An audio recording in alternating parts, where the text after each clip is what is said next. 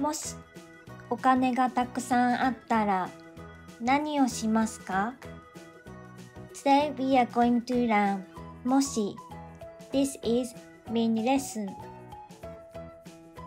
I prepared this lesson PDF. Please download below.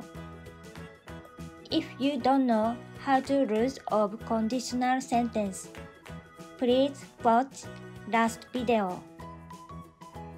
もしお金がたくさんあったら何をしますかもしお金がたくさんあったら何を買いますか Most is used in conjunction with the to emphasize that conditional clause is assumption.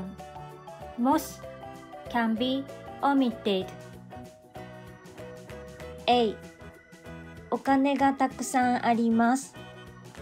お金がたくさんあります。B 何を買いますか？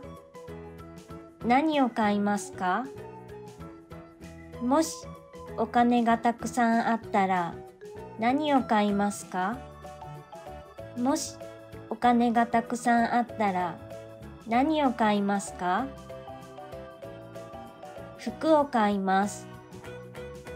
服を買います。車を買います。車を買います。A 財布をなくします。A 財布をなくします。B どうしますか？どうしますか？もし財布をなくしたらどうしますか？もし財布をなくしたらどうしますか？警察へ行きます。警察へ行きます。練習しましょう。Please comment the answer. Number one もしお金がたくさんあったらどうしますか？